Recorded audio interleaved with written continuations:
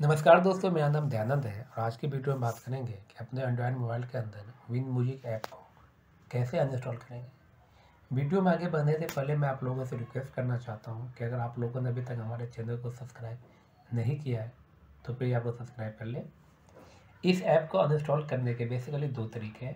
पहला तरीका है कि आप कुछ टाइम इस ऐप को प्रेस करके रखिए। ऐप इन्फो पे क्लिक कीजिए और नीचे आपको अनइंस्टॉल पे क्लिक कर दीजिए। दूसरा तरीका है कि आपको प्ले स्टोर को ओपन करना है। प्ले स्टोर को ओपन करने के बाद सर्च में इस ऐप को सर्च मार के क्लिक करना है। इसके बाद विन म्यूज़िक ऐप के आइकन पे क्लिक करना है। इसके बाद अनइंस्टॉल पे क्लिक करना है। फिर से अनइंस्टॉल पे क्लिक करना है। और आप देख सकते हैं कि मेरे मोबाइल से विन म्यूज़िक ऐप अनइंस्टॉल हो गया। तो इस तरह से आप सिंपल वे में इजी वे में इस ऐप को अनइंस्टॉल कर सकते हो। मिलते हैं नेक्स्ट वीडियो में किसी और टॉपिक को लेके। तब तक के लिए बाय बाय